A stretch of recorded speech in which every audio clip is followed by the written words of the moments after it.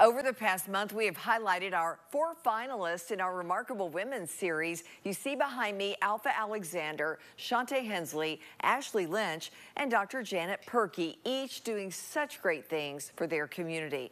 But now it's time to highlight this year's winner, and it is Dr. Purkey, who runs East Knox Free Medical Clinic every Monday and so much more.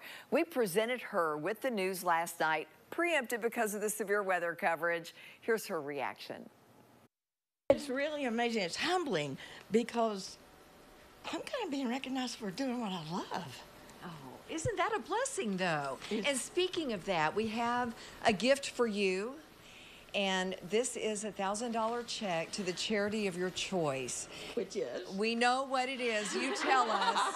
this is part of our story Thank that we did on you. Let's talk about where this money is going, and you already have it earmarked.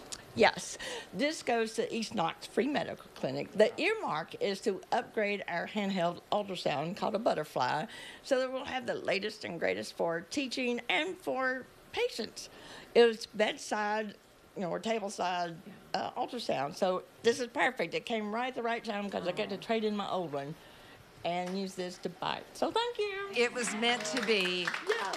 Congratulations. We're so excited that you're going to California coming up this weekend to meet other remarkable women from around the country through Nexstar's Remarkable Women campaign. Uh, I can't wait to hear back from you on how it all goes. And once again, thank you for all you do.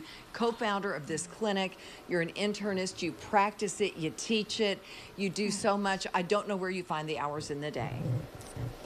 I think the Lord provides when you want to have a heart for service. I, I don't know. It's it's been amazing. We thank you for letting us peek in on the special things you do. Ah. Thanks again. All right, everybody. Thank you.